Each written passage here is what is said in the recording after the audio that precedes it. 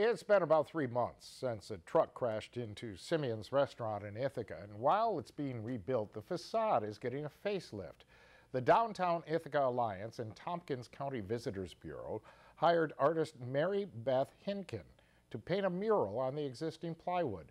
She chose to paint a vibrant cafe scene to mimic what Simeon's meant to the community. It's very heartfelt. Um, people come by, actually, people with tears in their eyes, and just saying, with huge gratitude, just saying thank you very much. And I think that's what happens with public art is people people really enjoy it, and it's putting a, a smile and something positive in a in a place where there was some tragedy. Hinkin started painting the 30 by 15 foot wall on Monday and finished it up this afternoon.